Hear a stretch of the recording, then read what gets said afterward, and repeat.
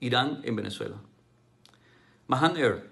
Mahan Air es una aerolínea iraní que desde hace aproximadamente 10 años está bajo el radar de las investigaciones, no solo por parte de los Estados Unidos, sino también de países como Alemania o Francia, por ser un apéndice operativo de la CGRI, o Cuerpo de Guardianes de la Revolución Islámica. La CGRI, hasta el momento de su fallecimiento, estaba bajo el mando de Coasenso Leinami. Esta aerolínea también está vinculada con la movilización de fuerzas Qut pertenecientes a la CGRI desde y hacia Siria para operaciones militares.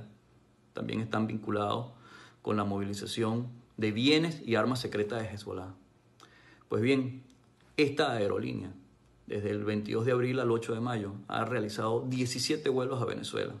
La mayoría de ellos terminaron en Paraguaná con la excusa que harían reparaciones en el tema petrolero. Pero no es así. Lo que se están haciendo es creando un centro de operaciones en el Cabo San Román.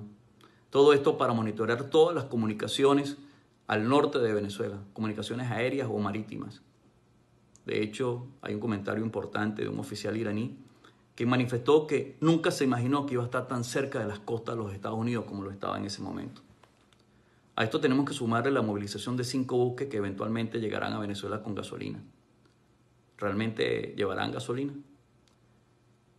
Esto definitivamente lo que deja claro es que el régimen no tiene la menor intención por resolver los problemas de electricidad del país o por resolver los problemas del agua y en consecuencia pues tampoco los problemas de, alimentación, ni siquiera de gasolina.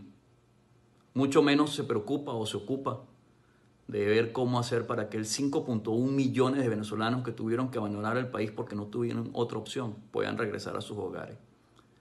El régimen lo único que le interesa es permanecer en el poder. Y si para eso tiene que aliarse con los peores criminales del mundo, lo harán. Esto es un llamado de alerta extremadamente importante no solamente para Sudamérica, sino para el resto del mundo.